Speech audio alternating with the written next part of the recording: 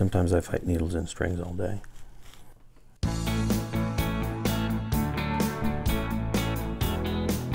My name is Gordon King. I run A1 Glove Repair.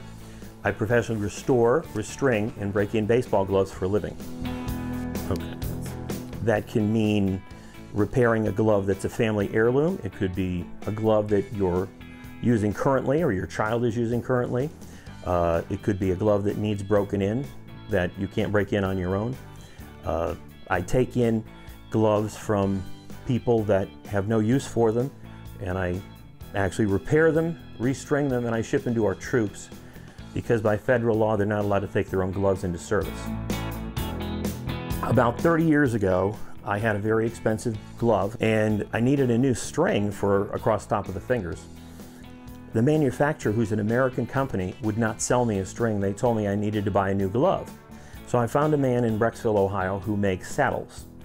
And his garbage was gold to me. He needed great big hunks of leather and all I needed was enough to make strings. And I started that way. And now I have a contract with Tandy Leather and they send me pretty much whatever I need whenever I need it. I am the official repair facility for Rawlings in St. Louis. Rawlings is one of the largest glove companies in the country.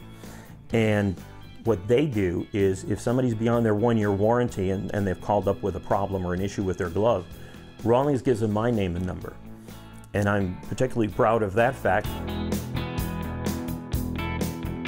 People ship their gloves to me both local or people from out of you know out of the state or out of the country. Many times people will send me different uh, shots of their glove, different pictures, so that we can have an idea and give them a better quote. And then they send the glove with a payment, and we set a date to get it back to them.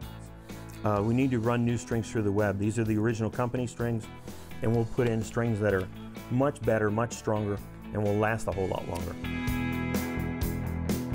It takes us two weeks to break in a glove the way that we do it, which is unique. I heat and cool the glove, but I also add moisture to it so the heating or the freezing doesn't take moisture from it. And I'm able to break in a glove that's game usable in two weeks. I also restore the original color for free, which I do with a secret formula that I created. And you can see and also feel the difference in that. I also get gloves from people that are antiques. They're a family heirloom that belonged to someone's great grandfather. And we were able to take it, turn it around, and get it to look good. But I also fix gloves so they can still be played with, no matter what their age is. To anybody, and I found out that it's not just boys or men, it's girls or women that have played ball that have an attachment to their glove. And whether they're still using it or not, they would like to get it restored in a pristine setting so that they can keep it for a memory. Somebody asked me once if I wanted to have my own glove company. I said no, I'd go out of business. You know why?